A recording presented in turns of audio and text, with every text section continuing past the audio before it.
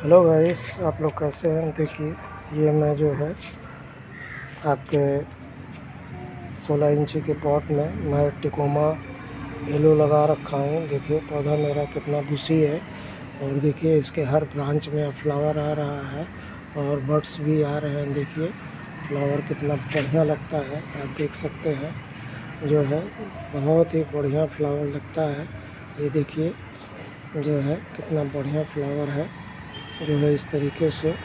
देखिए, सारे ब्रांच में बर्ड्स भी आ रहे हैं और फ्लावरिंग भी होती, हो रही है और फ्लावर भी दो तीन दिन तक एक बार खिलने के बाद रहता है इसमें। देखिए, सारे ब्रांच में जो है फ्लावरिंग हो रही है। देखिए, कितना बढ़िया जो है फ्लावर आ रहा है।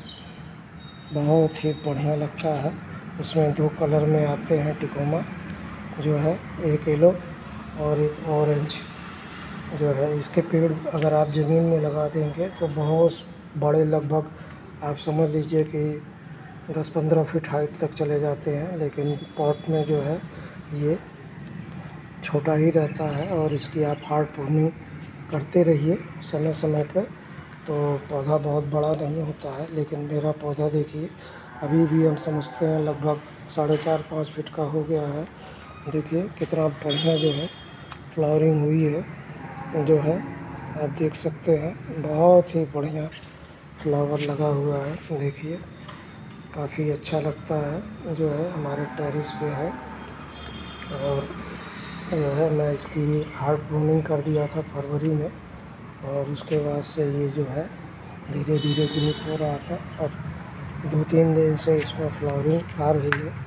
देखिए बहुत सारे फ्लावर ये देखिए, चारों तरफ़ से जो है फ्लावर ही फ्लावर है। आप देखिए, बहुत सारे फ्लावर आप देख सकते हैं। जो है इस तरीके से बड़ा ही अच्छा लगता है। जो है चारों तरफ़ से और ये देखिए बर्ड्स भी भी आ रहे हैं। एक दो दिन में ये सभी फ्लावरिंग हो जाएगी। बहुत ही बढ़िया लगता है। तो आप लोग अपने टेरिस पे लगाइए और पचास साठ रुपए में ये बड़े आसानी से नर्सरी नर्सरी में मिल जाता है। तो आप ला सकते हैं या इसकी डाली भी आपको कहीं मिल जाए।